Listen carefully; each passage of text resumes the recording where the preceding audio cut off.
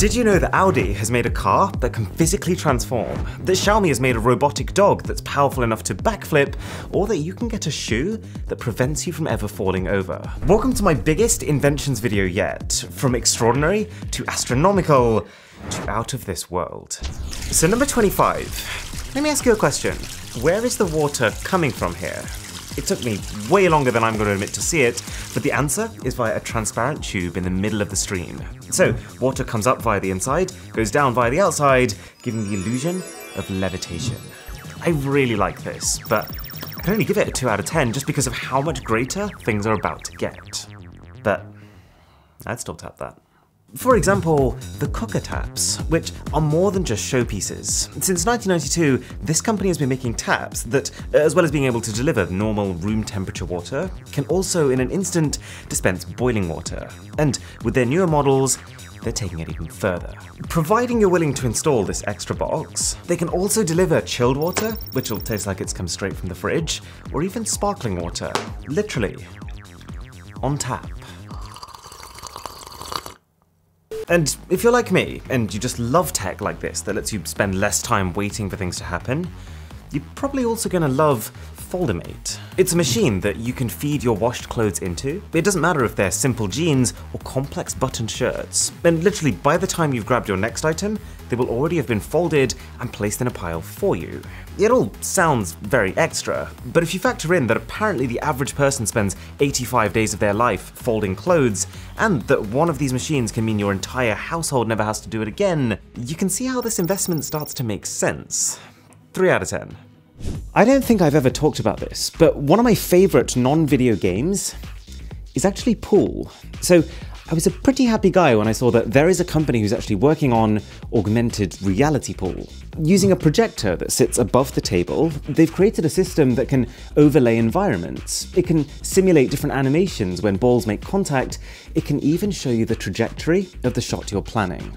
I did initially think, well, that's a bit pointless because you'll always get it in. But think about how good a training tool that is. Think about how fast you could improve if you use this. I can't give it more than a 4 out of 10 though, just because the company hasn't posted an update about it in like two years, and so we've got no idea where the project is right now. Okay, I feel like there's a lot of people who love the idea of flying, but are just slightly put off by the fact that actually training to become a pilot costs over $100,000. Well, worry no more, because there is a company called LIFT who's building an entire fleet of personal drones that they're saying people will be allowed to fly without any experience or any supervision. Each one uses no less than 18 separate batteries and 18 propellers. They have so many safety features that they can apparently land even if six of them stop working. And they're even built to be resistant to bird strikes. You call that a bird? This company sees the future as hundreds of thousands of air taxis, getting people from A to B while completely avoiding traffic jams. I love the vision, but I'm only giving it a 4 out of 10, because they've got a hell of a lot of convincing to do before this passes regulation. Number 20. This is where we step things up a notch. I am, of course, talking about trash cans. This right here is the Titan Trash Compactor. It's a bin that once filled, instead of you needing to kind of like take out the bag, empty it, get a new one, can apparently compress the trash inside such that you can just carry on dumping stuff inside of it. I've actually been filling this one up over the last week to the point where I think most would consider that a fairly full bin. So let's see how well it works. That is kind of insane. As a very rough estimate, I would say that that has doubled the amount of stuff that I can fit into one bin bag, which is obviously not just good for me, but also the planet. As far as bin tech goes, this is, well, not rubbish. A joke. 5 out of 10. And in a similar vein, Solubag has made a whole catalogue of bags that you can use as many or as few times as you want to. And then when you're done, just stick them in hot water and they will dissolve. In just five minutes, there will be no trace of a bag, and the resultant liquid will be so safe that you can drink it. Which is kind of amazing when you think about how a normal plastic could well take 500 years to break down, and even then, you do not want to be drinking that. Or, in a similar vein, the company DB Breweries has created a fleet of machines that can take your used beer bottles and then, instead of just storing them to be emptied in landfill, can pulverize them into usable sand. This is then given to various different industrial companies who use sand to make things, thus reducing the amount of sand they'll need to take from our actual beaches. Important because, uh, not so fun fact, two thirds of the world's beaches are shrinking. 5 out of 10. Alright, so, I'm yet to meet a person who has told me that they love watching adverts. But you can't knock the fact that they're what allow platforms like this to even function. Ads are going to be a huge part of our society going forward. So I am actually kind of excited about how they might be about to get more interesting. Thanks to enormous high resolution panels that can be curved, companies are now starting to be able to develop ads that can factor in the curvature of these panels to create the perception of a moving three dimensional image. We're seeing all sorts a giant indoor aquarium, a huge cat that sits on top of buildings. oh, you're a big cat too, darling. It's great for brands because they're going to stand out, and as a viewer, I'm not exactly complaining either. And hey, if you're enjoying this video, then a sub to the channel would be show-stopping. 5 out of 10.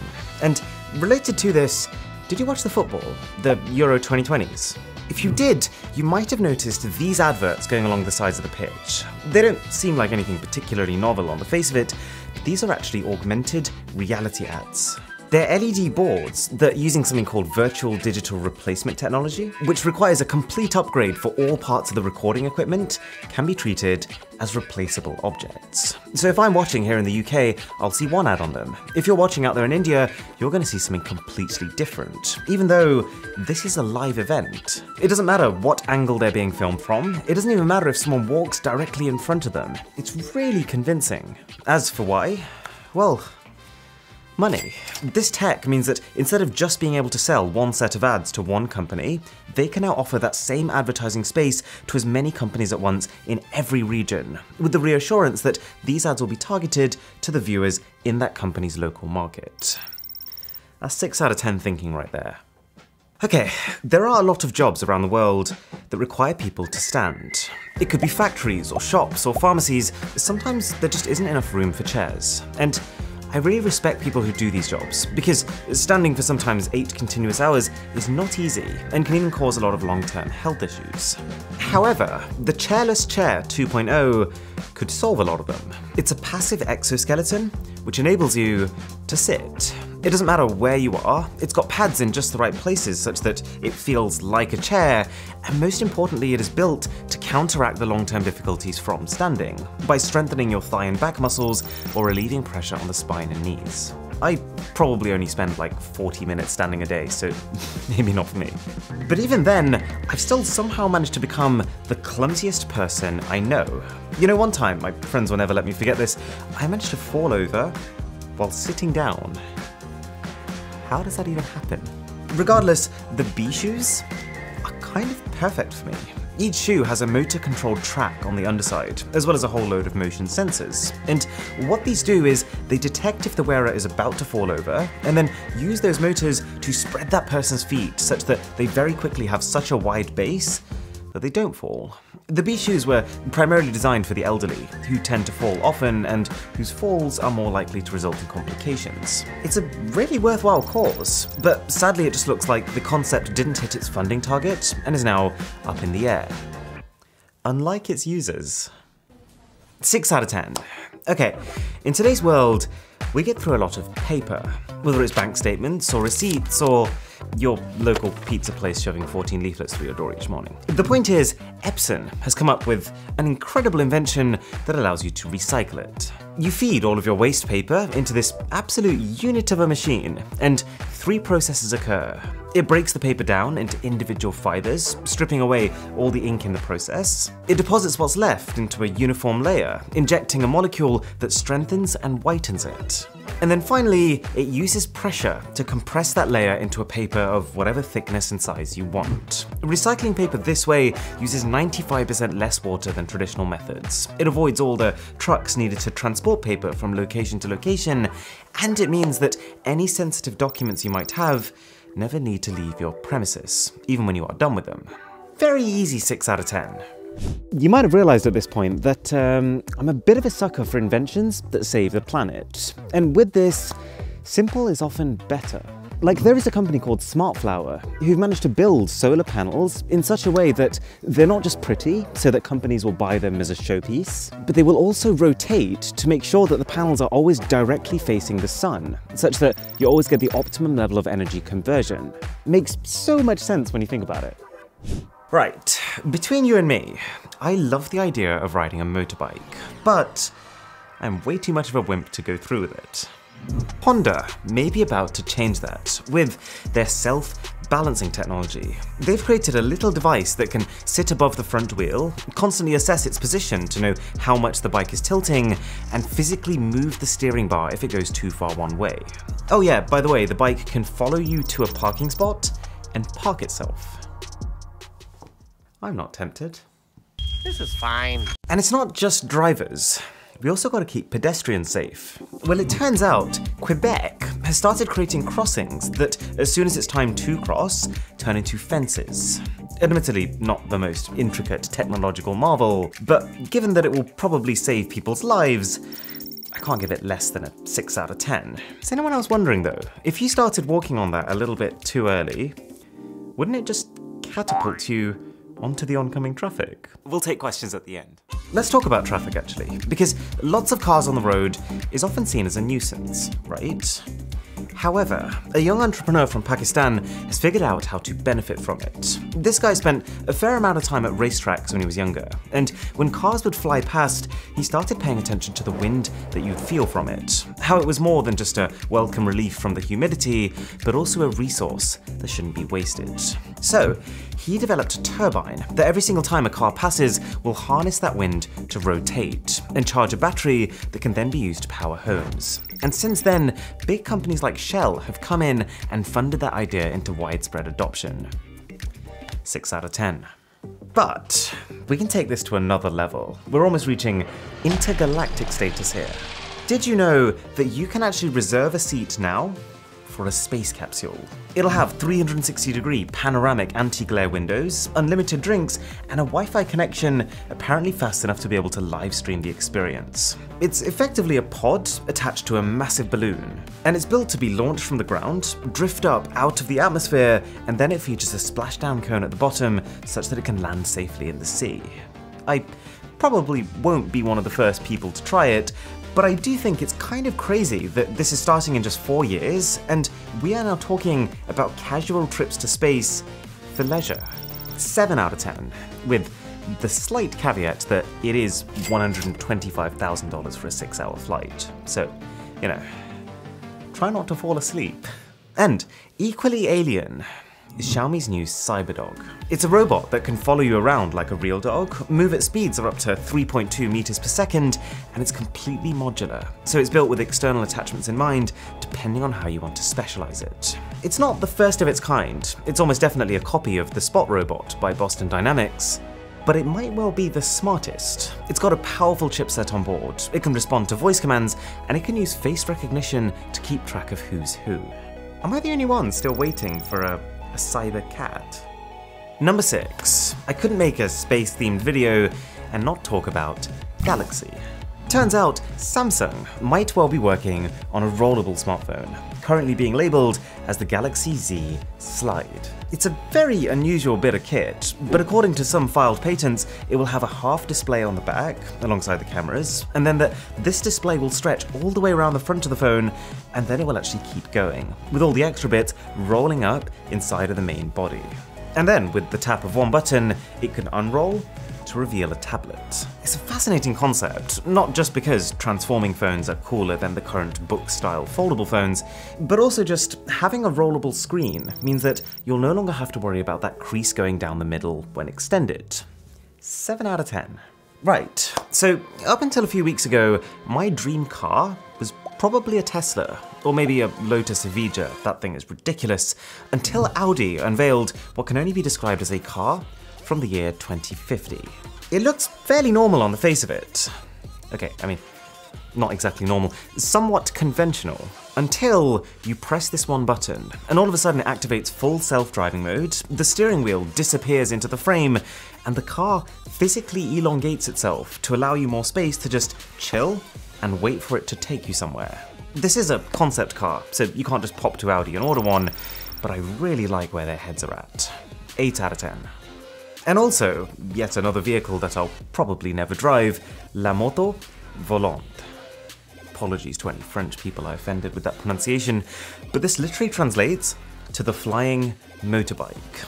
On the land, it's nothing extraordinary. It's an electric bike that can go up to 100 kilometers on a charge. But then, thanks to four high power turbines embedded in each wheel and tanks of kerosene, this thing can take off. Only for 10 minutes at a time, but look at it. I know it would never be allowed, but can you imagine getting stuck in traffic one time and just being like, nope, not today, and just overtaking everyone from above? Smartphones are getting pretty cool. And if there's one thing we know about them, it's that they're going to continue to evolve in ways that make them increasingly useful. And in that direction, it turns out that as well as rolling phones, Samsung has also filed patents for a camera system on rails. So by default, you'd basically have three cameras that sit in a straight line. Pretty standard fare. But then, at the press of a button, the main camera in the middle can be pulled down, which in turn will bring the two secondary cameras on the sides inwards to form a triangle. Okay, but where this actually starts becoming useful is that because you've moved each camera sensor to a new position, you could have a completely different set of lenses that will sit on top of them in those positions. Meaning that even though you only actually have three cameras, you have the capability of six different cameras. It might never get implemented because there are obvious complications to it, but it's just so cool to think that while we're speaking right now, this and so many other technologies like it are being trialed.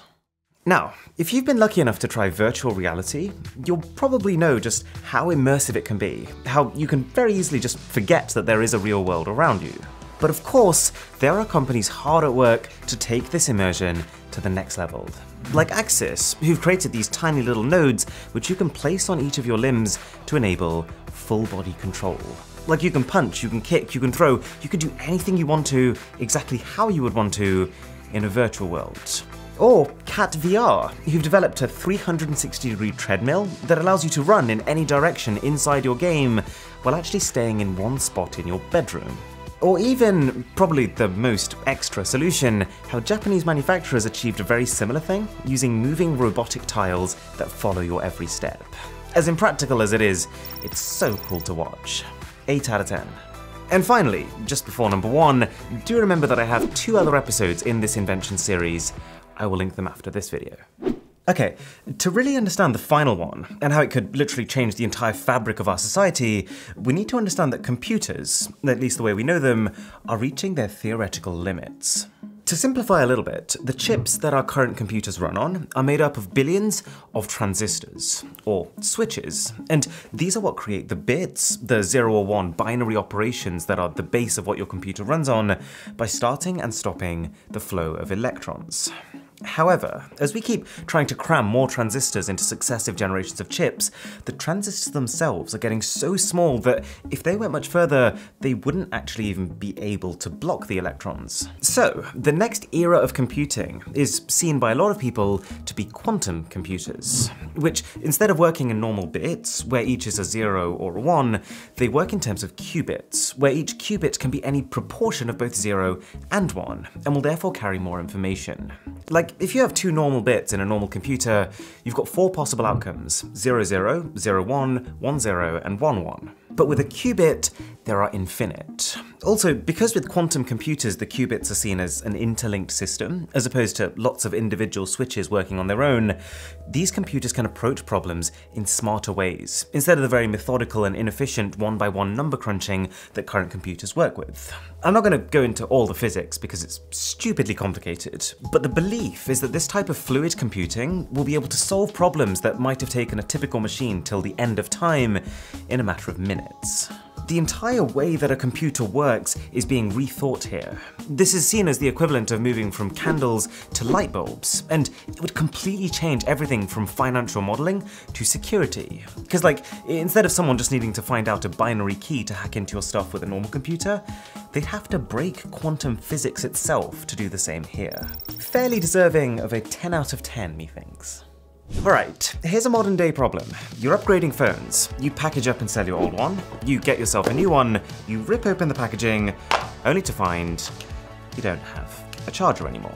Well, the Anker Nano Pro is trying to be the one size fits all solution for that. And there's quite a lot of things I like about it. Like one, it's tiny, something like 45% smaller than most equivalently powerful chargers. Two, it has Active Shield, or in other words, continuous temperature monitoring and automatic adjustments to the power output if it starts getting hot. And three, there's a bunch of two-tone color options. Glacier Blue, Cool Lavender, Arctic White, and Black Ice. They're pretty much made to match the colors of the iPhone 13 lineup. It is a 20 watt output, which is not their highest, but at the same time, considering that a brick half the size of my thumb can 50% charge an iPhone 13 in like 25 minutes, it is pretty cool. So check the link in the description to find out more. To check out my last video all about the Vivo X70 Pro Plus, that's here. Or for my full review of the iPhone 13 Pro, that's up here. My name is Aaron, this is Mr. Who's the Boss, and I'll catch you in the next one.